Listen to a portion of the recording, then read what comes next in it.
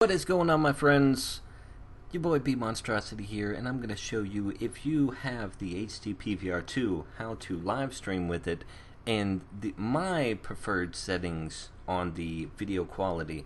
Now, I'll leave a link to my um, Twitch account in the description so you could go over and click on videos and check out my my quality. Uh, I think it looks pretty damn good, actually.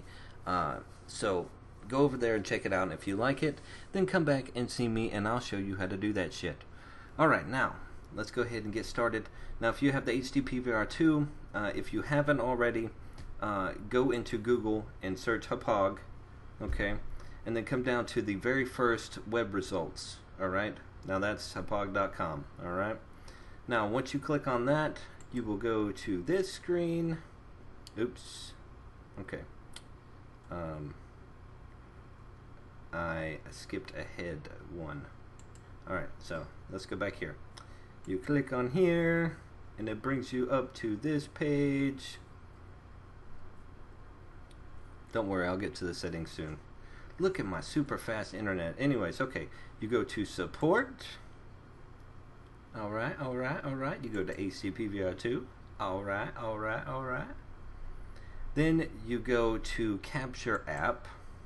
And if you have not downloaded this already, be sure to download this. Okay. Now I was using Stream StreamEez there for a while, and it pretty much sucked. Okay, this right here it sucks. So this is the uh, brand new uh, capture software that Hauppauge has, which is not brand new; it's like a month old.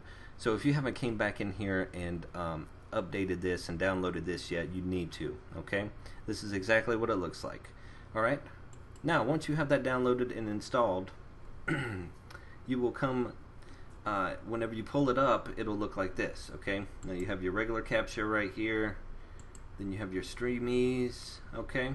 Now the cool thing about this software is that you can actually use your microphone from your computer and it'll record it at the same time as you're playing. To where when you used to have to do this you used to have to do some crazy shit in order to record your voice at the same time when you're streaming Okay, now it also works on the capture side also. Okay, so you just mic input and make sure that your microphone shows up. But we're talking about streaming here, okay? So make sure your microphone's in here, and of course you can adjust the, the levels right here. And I have the HDMI in, HDMI out, blah, blah, blah. If you got PlayStation, you should know what to do. You're using components, okay? Now the stream quality setting that I use is 1.51, alright? Very important. Uh, I would highly suggest if you like my stream quality, then replicate this, okay? So, what you need to do is this auto scaling will be on enabled. You want to click disabled, okay? Then of course put in your your Twitch account, your your channel ID, and then also I don't know if it makes a difference, but change the location to the closest point to you, okay? Which in my case I'm in North Carolina, so it would be Virginia. All right, now being that you disabled this right here, uh, it's going to pull up this little bar. All right. Now, what you do, click on it. Now, I use uh, 720. I use 720 um, 720p whenever I'm playing Xbox. Okay, if you play on 1080i or 1080p, it should be the same thing. Okay, but now, whenever I'm playing on 720, you want to come over here and you want to change this instead of source change it to 720 by 480 okay? And then come over here to the frame rate and switch it down to 15 okay? I found that to be the most bestest way to utilize the HD PVR2 for live streaming okay? Now uh, for the for the 1080 uh, I'm not exactly sure but I'm pretty sure that if you use a 720 by 480 and the 15 this 15 I found is is really important. So no matter what you do put these on 15 okay? If you're still running 1080 uh, which is going to be a pain in the ass because it's going to take up more of your bandwidth uh, and whenever you're playing you're going to lag harder. So I found that 720 still works pretty good. There's still a tiny bit of lag there of course because you're uploading to the internet but it's not huge and you could still play uh, you just might not be as effective. Uh, if you want to be a beast, then come down here and, and, and play in standard definition, but pff, I am above that. anyways, uh, like I said, this uh, output frame rate, uh, I found it at 15. Uh, it it's not so pixelated. Okay, so be sure to keep that on 15. But this is exactly what I use right here.